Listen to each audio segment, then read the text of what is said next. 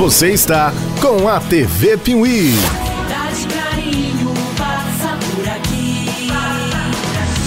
Oferecimento Stalo Supermercado. Sua família merece o melhor.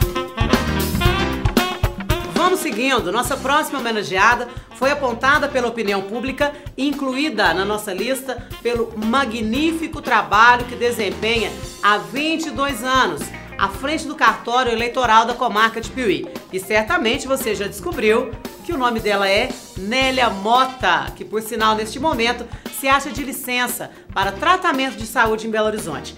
Não é a primeira vez que Nélia é incluída na lista das mulheres que fazem a diferença em Piuí. E por todas as boas razões que a opinião pública sempre reconhece nela.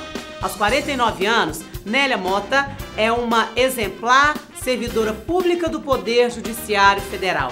É analista judiciária do Tribunal Regional Eleitoral de Minas Gerais e chefe do Cartório Eleitoral de Piuí há mais de 20 anos, desde junho de 1996. Tem sido a cabeça que planeja, supervisiona e gerencia os processos eleitorais do município de Piuí.